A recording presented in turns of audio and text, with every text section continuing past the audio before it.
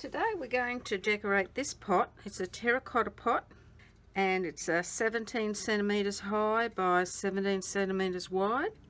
And we're going to add this beautiful napkin harmony in blue. Uh, add a little bit of extra gold and leaves and even some stems where there aren't any. And also a nice mottled rim that matches the gold in this napkin. Also, if you check in the comments below, you will see a link to Ninny's Napkins, where I got this napkin from, a, um, a discount code as well, so that uh, you can receive 10% discount on your first order. So stay with me today and you'll see how to do this. Hello, my name is Judy West and I'd like to thank you for joining me today.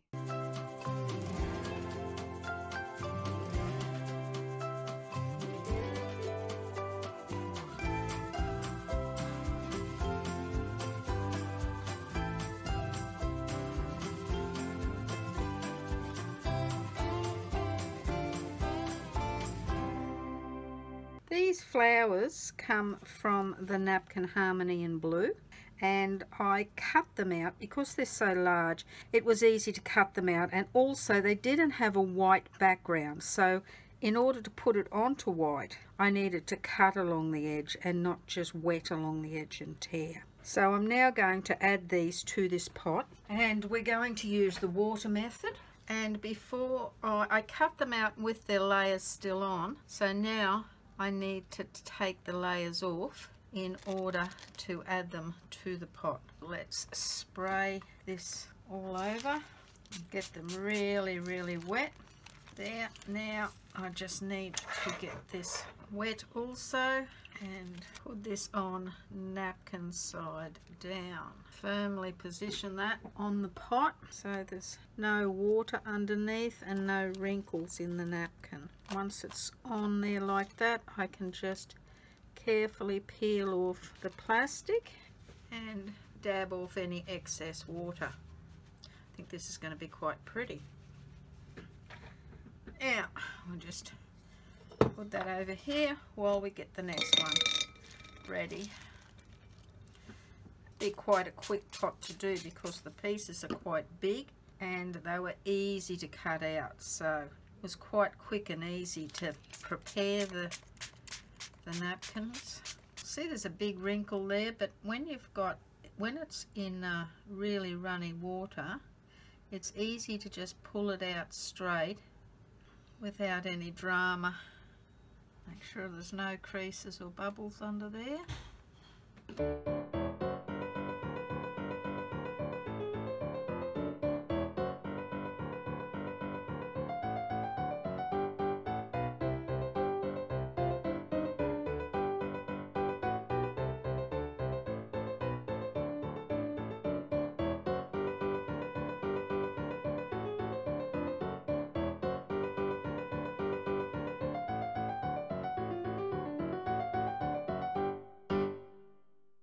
Now this picture is almost the same as that picture with an extra flower. So I'm not going to put it beside this. I'm going to put it beside that one, which is different. So I'm going to position it over here.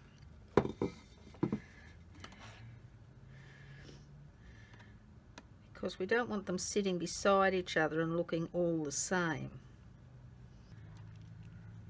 need to put a bit more water on here because there's a couple of wrinkles in there that aren't coming out so I need to float them out.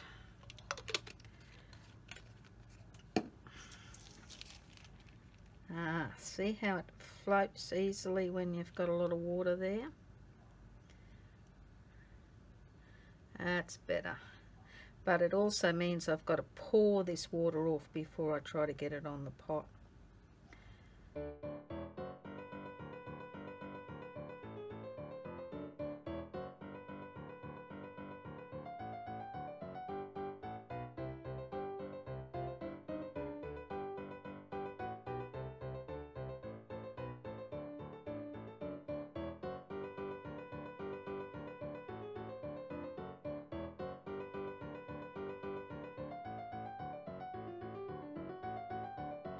Now if you're enjoying watching this video please press the like button and if you would like to see more uh, just push the subscribe button and the little bell and that'll allow you to be notified of any future videos that I might put up.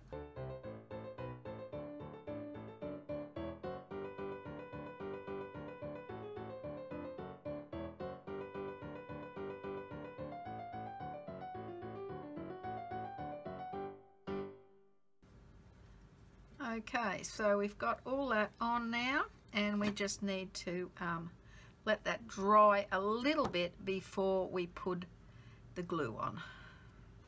Now that the napkins are firmly on the pot, it's now time to coat them with Mod Podge in order to ensure that they adhere properly to the pot.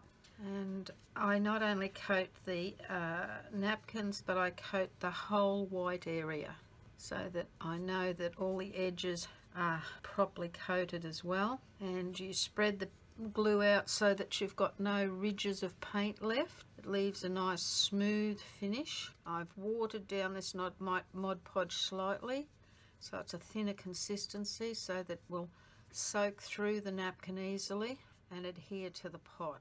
That it's not just sitting on top of the napkin but it's actually soaked through it.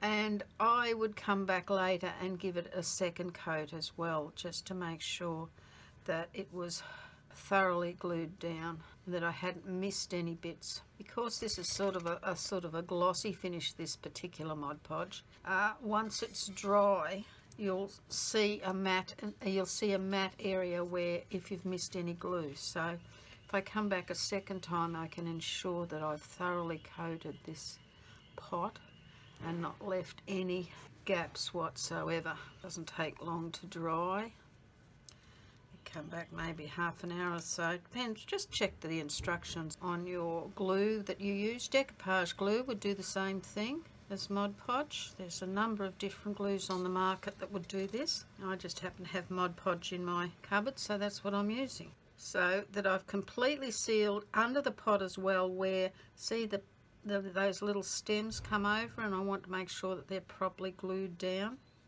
And the whole white area is covered in glue. And then I just set that aside to dry. Just making sure there's no ridges of paint. Very milky areas anywhere. Now that the uh, glue has dried I've decided I want to add a little bit more brightness to this pot and I've got some gold acrylic paint here now you could use any gold acrylic paint you want and what I want to do is not only add a little bit to some of these stems just to make them a bit brighter, but some of these flower centers too, I'll just daub some on. The gold paint that's already on there is a little bit on the dull side, so I'm just putting some little dots of this brighter gold down just to make it stand out a bit more. I'm not sure if you can see that on the screen but it does make it look a bit more interesting and dots are um, giving that center section a bit more texture and a bit more interest. And uh, I'm not completely covering in those stems I'm just adding a little bit. This one here looks as though it needs a stem also so I'm just going to add that through there and I'm going to have it coming out here now I'll have to come back with another color later on and just add more to it because these are quite dark. So um, I'll need to add more colour to it later. But I'll just put the gold in there now to show me where I'm going to put it. Just highlight it a bit more. This is another one that needs a, um, a stem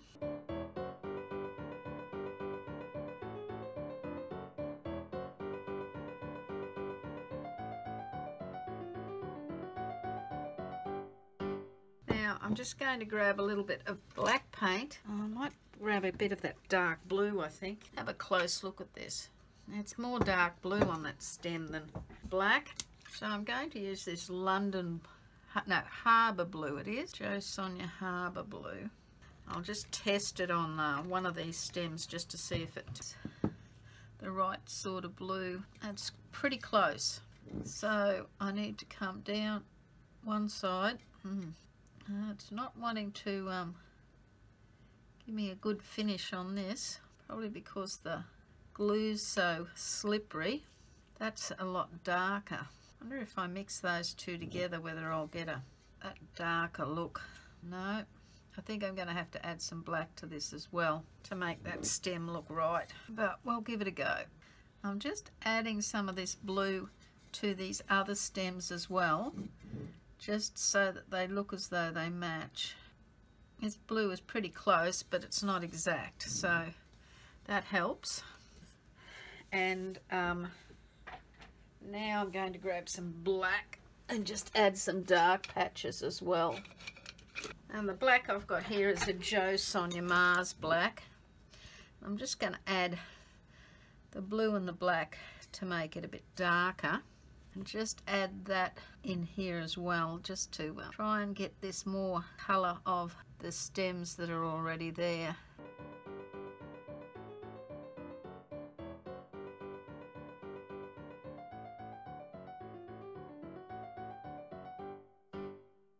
That works. That's working. Just need to get it all to match. There we are.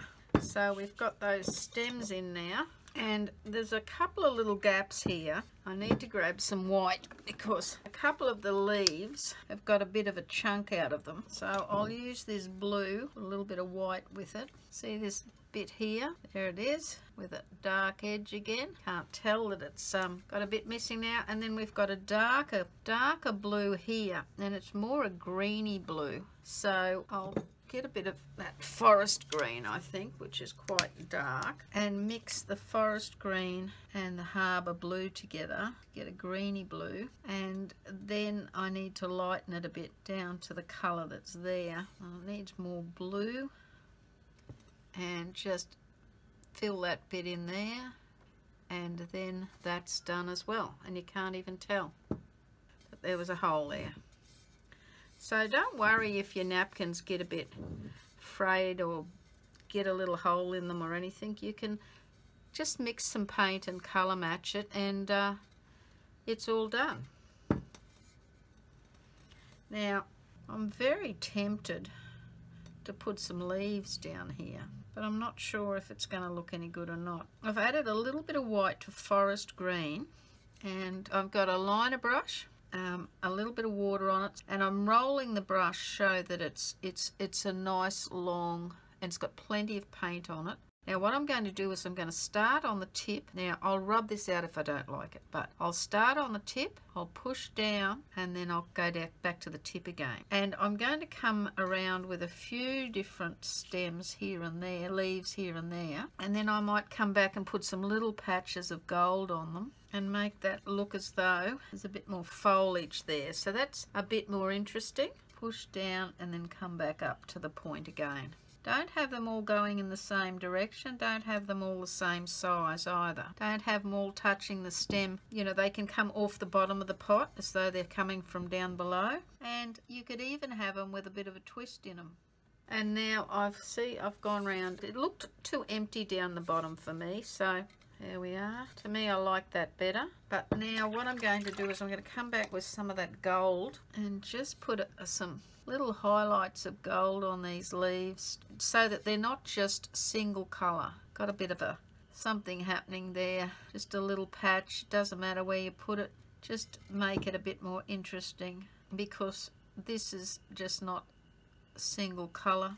Now if you preferred it solid colour just leave it solid colour, don't add the patch. It's up to you what you like. I'd like to thank you all for watching me too. I really appreciate the fact that you've been coming and watching my videos and making comments and uh, uh, some people have even given me some great ideas for future videos or information that I didn't have so I appreciate that. I've had up to 25,000 views now which is amazing to me and um, I appreciate your support. Thank you very much.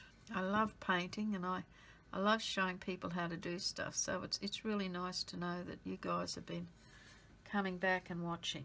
Now, I think that's all I'm going to do there. I'm not going to add any more to that. And it's just got a little bit of shimmer, the same as the center of the flowers and the same as the stems now by just adding that little bit of gold It just adds a little bit of shimmer to the whole thing. It looks as though it matches. So that just makes that a little bit different from the original napkin. And now I leave that to dry and then I would come back and uh, I'll need to, I'm going to paint the rim after all this is dry. I'd like to put a gold rim on this pot to make it look very rich. But if I put gold over that, it's going to be a very dull gold. And the way to make the gold sparkle is to put a red foundation down first and then put the gold over the red. So I'm going to paint the rim red first. Now the red I happen to have is um, called Naphthol Crimson. Doesn't really matter which red you use, just red. There we are. Now we'll just let that dry and then we'll come back with our gold. Now I missed the part of this uh, video. I didn't realise it wasn't filming, but I'm coming back with the gold now, doing under the rim and also around the edges. And I've had to give it a couple of coats because uh, the gold is a fairly transparent and uh, a lot of the red was showing through. But it is, is coming up to be a nice rich colour with that red underneath it. Uh, and I'm really happy about that. Now, as you can see, I've now given a number of coats of paint to that rim. It's still a little bit patchy, but I'm actually going to do something interesting on there so the patchiness won't matter. I'm actually going to use both this gold, which is the Jo Sonja gold, called pale gold. I'm going to use a bit of that. And I've got another gold which is darker. It's from Kaiser Craft and it's just called metallic gold, but it's quite a dark colour, if you see there. See that? Look at the difference between those two. Now, I've got myself a sea sponge and I went and wet it and squeezed all the water out so it's damp. Because if you're going to use a sponge and you want it clean again, you need to dampen it first, get moisture into it so that when you go to clean it, it all washes out for you. Now, see it's got nice big holes in it. So what I'm going to do is I'm going to dab this in the, the dark and I'm going to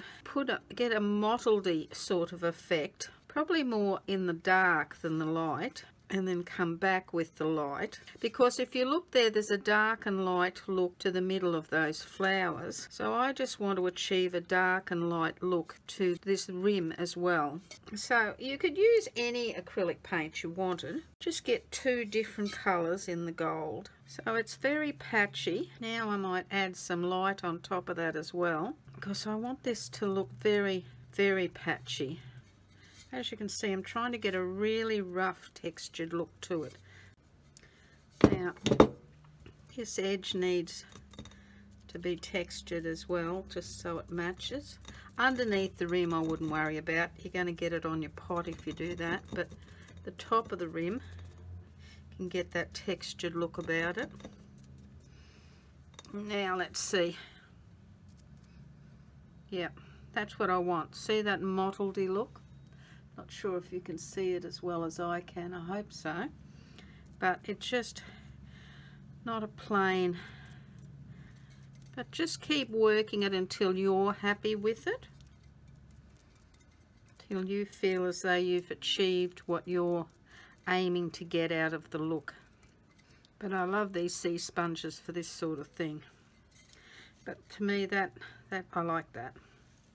It's just got a very textured look about it and there's two tones in the gold and then you just take this sponge and get right back and clean it straight away and you'll get all the paint out of it okay now the only other thing left to do with this now is let that dry and then you would come back and seal it with a sealer now the one I use I'll get it out and show you and I put two coats on is Liquitex acrylic medium gloss varnish that's the one I use.